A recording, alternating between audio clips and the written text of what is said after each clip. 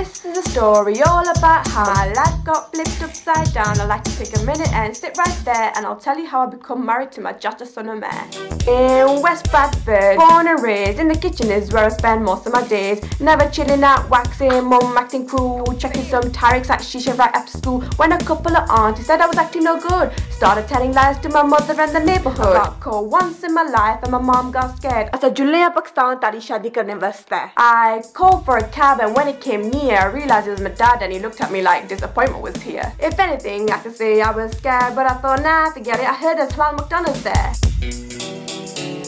I pulled up to my village about 7 or 8 and yelled to the cabbie, yo there, I'll pay you later. I looked to my future and I was finally there to start my marriage with my chacha son of